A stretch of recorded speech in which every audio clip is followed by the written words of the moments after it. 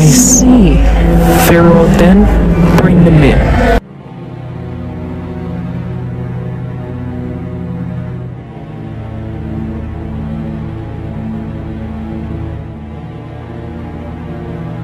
So, you must be the princess of the Orichalcos. It's a pleasure finally meeting you, Your Highness.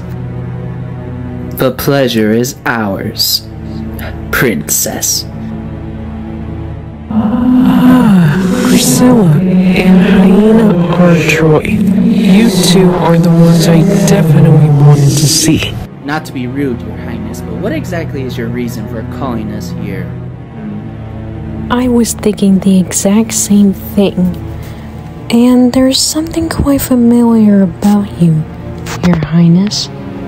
I wonder why. You may not want to